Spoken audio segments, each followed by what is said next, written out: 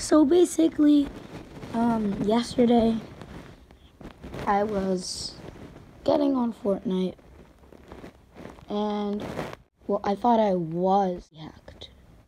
That kind of sounds weird. Oh my god! Because I don't know how somebody can do that. This is when it happened, and yeah, I was very confused.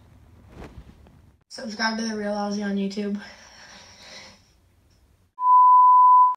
Um, so I was trying to log into Fortnite, and then this message came to my screen. Link an Epic Games account or create a new account to save your progression and game data. So I'm really confused.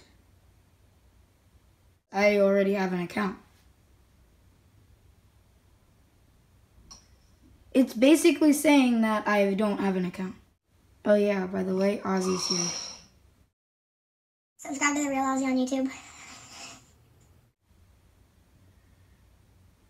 But why?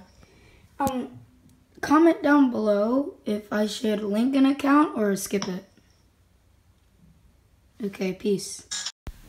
In the end, I ended up restarting my console and the message didn't show up. So I don't know if somebody was trying to hack my Fortnite account. Peace.